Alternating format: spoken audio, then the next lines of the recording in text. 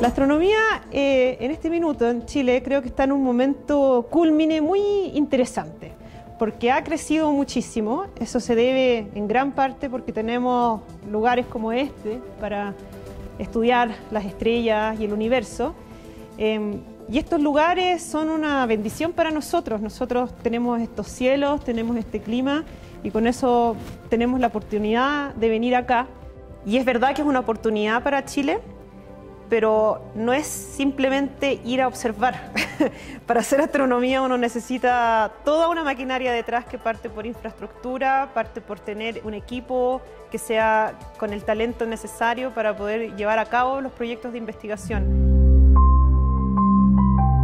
Y el desafío creo que está en eso, en apoyar más la infraestructura y estos equipos. Y estos equipos son muchas veces con herramientas que van más allá de la astronomía.